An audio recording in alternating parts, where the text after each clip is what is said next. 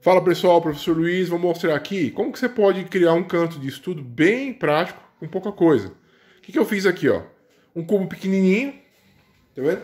Mas ele já tem a entrada pro celular e pra guitarra. E eu gosto muito desse cubinho. Uma estante partitura. Se você usa pasta, você deixa a pasta aqui já. Se você usa computador, você pode pegar o computador, no caso aqui, ó, e já colocar aqui nessa estante que ela aguenta, viu?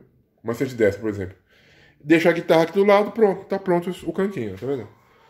Você tem a cadeira, o cantinho, e é importante você já deixar, se você não tiver criança em casa, já deixar tudo plugado, um jeito que você já senta e toca. Organiza as pastas no computador de uma forma que seja rápido de entender, ou a sua pasta. Pronto, cheguei, toquei. Outra coisa que eu sempre sugiro, se você tem criança em casa, é fazer aquilo ali, ó.